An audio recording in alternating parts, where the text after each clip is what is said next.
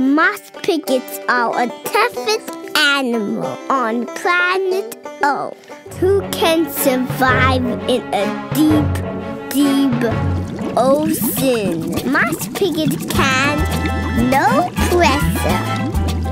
What about inside of a volcano? Moss piglet can can survive in cold, cold sub-zero temperature? Moss piglet can like a cool glass of water.